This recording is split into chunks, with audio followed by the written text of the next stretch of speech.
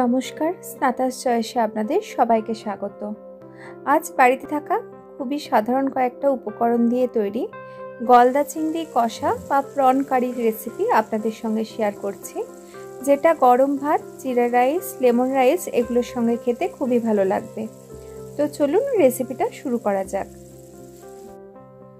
মাছগুলো ভাজার জন্য আমি কড়াতে প্রথমে নিয়ে নিচ্ছি ওয়ান টেবিল স্পুন পরিমাণ সর্ষের তেল। তেলটা ভালো মতো গরম হয়ে গেলে আমি আগের থেকে নুন আর হলুদ মাখিয়ে রাখা চিংড়ি মাছগুলো এর মধ্যে দিয়ে দিচ্ছি। মাছগুলোকে তেলে খুব বেশিক্ষণ ভাজবো না। চিংড়ি মাছ যদি তেলে খুব বেশিক্ষণ ভাজা হয়, তাহলে মাছের ভেতরের যে মাংসালো অংশটা থাকে, সেটা কিছুটা শক্ত হয়ে রাবারের মতো খেতে হয়ে যায়। মাছগুলোকে এক থেকে দেড় মিনিট একটু নাড়াচাড়া করেই তুলে নেব। মাছগুলোকে এক মিনিট ভেজে নিয়েছি, এবার মাছগুলোকে তুলে নিচ্ছি। এ সময় গ্যাসের ফ্লেমটা আমি মিডিয়াম আর হাইয়ের মাঝামাঝি রেখেছিলাম। মাছ ভাজা করাটাতেই আমি এবারে বাকি তেলটা দিয়ে দিলাম। আমি এই পাত্রটাতে মোট টু টেবিল স্পুন তেল নিয়েছিলাম। প্রথমে কিছুটা দিয়েছিলাম আর বাকি তেলটা এই সময় দিয়ে দিলাম। তেলটা ভালো মতো গরম হয়ে যাওয়ার পর গ্যাসের ফ্লেম একদম লোয়েতে করে নিয়েছি। এবার এর মধ্যে দিয়ে দিচ্ছি দুটো থেঁতো করে নেওয়া ছোটো এলাচ। আমি এলাচের মুখটা একটু ফাটিয়ে নিয়েছি। দিয়ে দিচ্ছি হাফ চা চামচ গোটা জিরে। আর দিচ্ছি শুকনো লঙ্কা। আমি এখানে দুটো শুকনো লঙ্কা নিয়েছি। লঙ্কাগুলোকে মাছ বরাবর একটু ফেলে নিচ্ছি। এবার দিচ্ছি পেঁয়াজ কুচি। আমি এখানে দুটো বড় সাইজের পেঁয়াজ কুচি করে নিয়েছি। গ্যাসের ফ্লেম লোয়েতে রেখে পেঁয়াজটাকে দু থেকে তিন মিনিটের মতো ভেজে নেব। যতক্ষণ না পেঁয়াজের কালারটা একটু স্বচ্ছ হয়ে আসছে। খুব বেশি লালচে করে ভাজার প্রয়োজন নেই। পেঁয়াজটা ভাজা হয়ে গেছে। পেঁয়াজের কালারটা দেখুন আগের থেকে অনেকটাই স্বচ্ছ হয়ে এসেছে। এবারে এর মধ্যে দিয়ে দিচ্ছি তিনটে চেরা কাঁচা লঙ্কা, একটা মিডিয়াম সাইজের টমেটো। টমেটোটাকে মাঝখান থেকে চিড়ে নিয়েছি। হাফ টেবিল স্পুন রসুন বাটা আর হাফ টেবিল স্পুন আদা বাটা। এবার এর সঙ্গে আমি কিছু গুঁড়ো মশলা যোগ করে দিচ্ছি। দিয়ে দিচ্ছি এক চা চামচ ধনে গুঁড়ো আর দিচ্ছি এক চা চামচ জিরে গুঁড়ো। এক চা চামচ হলুদ আর দিয়ে দিচ্ছি স্বাদ অনুযায়ী নুন।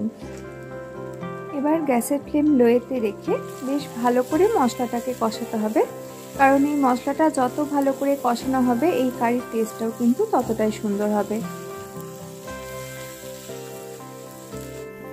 দু থেকে তিন মিনিট মশলাগুলো কষিয়ে নেওয়ার পর এটা ঢাকা দিয়ে দিচ্ছি যাতে টমেটোগুলো ভেতর থেকে একটু সেদ্ধ হয়ে নরম হয়ে যায়। দু মিনিট ঢাকা দিয়ে রাখার পর ঢাকাটা খুলে নিচ্ছি আর এখন দেখে নিচ্ছি টমেটোগুলো সেদ্ধ হয়ে গেছে নাকি। টমেটোগুলো বেশ ভালোভাবে সেদ্ধ হয়ে নরম হয়ে গেছে। আর এখন এবারে আবার এই মশলাটাকে পাঁচ থেকে ছ মিনিট লো ফ্লেমে কষাতে থাকব। আমি এই মশলাটা মাত্র ওয়ান টেবিল স্পুন তেলে কষাচ্ছি বলে মশলা কষানোর টাইমটা একটু বেশি লাগছে। তবে যদি আপনারা বেশি তেলে কষান, তাহলে মশলা কষানোর টাইমটা হয়তো আরেকটু কম লাগবে। তবে এভাবে করে নিলেও কিন্তু তরকারিটা খেতে খুবই সুন্দর হয়, অথচ তেলটাও খুব একটা লাগে না। মশলাটা পাঁচ থেকে ছ মিনিট ভালোভাবে কষিয়ে নিয়েছি, আর সাইড থেকে দেখুন হালকা হালকা তেল ছাড়তেও শুরু করে দিয়েছে মশলাটা থেকে। এবার এর মধ্যে আমি টমেটো সস দিয়ে দিচ্ছি। আমি two tablespoon tomato sauce নিয়েছি। টমেটো সসের একটা নিজস্ব হালকা টকভাব আর হালকা একটা মিষ্টতা তো থাকেই, যেটা এই গ্রেভির টেস্টটাকে অনেকটা বেশি বাড়িয়ে দেয়। এবার এর মধ্যে আমি জল দিয়ে দিচ্ছি। আমি এখানে নর্মাল রুম টেম্পারেচারে রাখা জল ইউজ করছি, তবে আপনাদের ইচ্ছা হলে হালকা উষুম গরম জলও ইউজ করতে পারেন। আমি এখানে ফোর টেবিল স্পুন জল নিলাম, কারণ গ্রেভিটা একটু মাছটার সঙ্গে ফুটে গিয়ে আর একটু ঘন হয়ে যাবে। আর বেশ গা মাখো হবে তরকারিটা, একটু গা মাখো গ্রেভিটাই এই তরকারিটা খেতে বেশি ভালো লাগে।